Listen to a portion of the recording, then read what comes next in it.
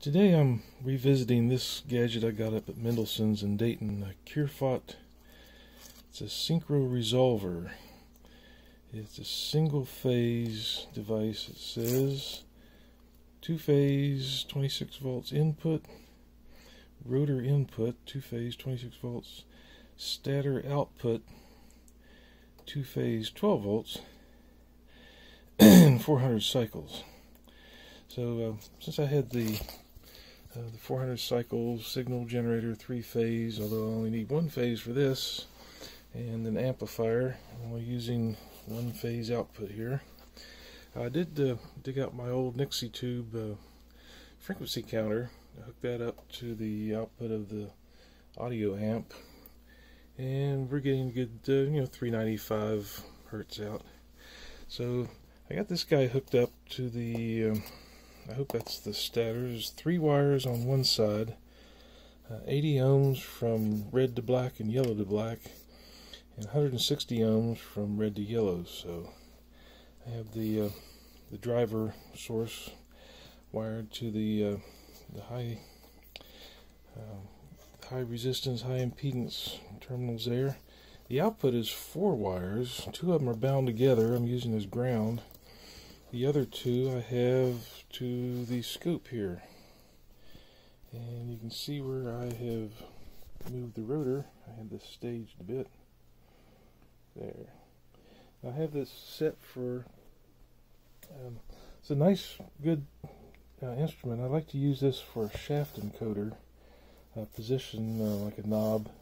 If I could somehow decode that sine and cosine output as a 0 to 359 or 0 to 1023 uh, somehow uh, just using a diode and a cap I could get just the magnitude but what we would lose is the phase.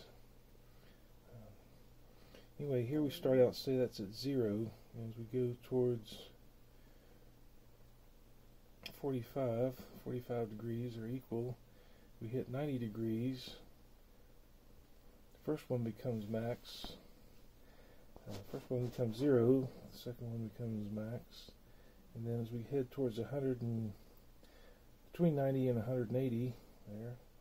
Now at 180 degrees, the first one is now the opposite phase. It was it was positive going. Now it's negative going. And it, between 180 and 270 they're equal. Then at 270 second one is negative going, and then we head back to between 270 and 360, and now we're at back where we were at zero degrees. So I've turned the shaft one full revolution. It should be able to um, decode any position there if I can just read those phases and amplitude. Interestingly, when one is max like that, and you turn the shaft, you barely get any movement change in amplitude at the max, but the one that is minimum is super sensitive.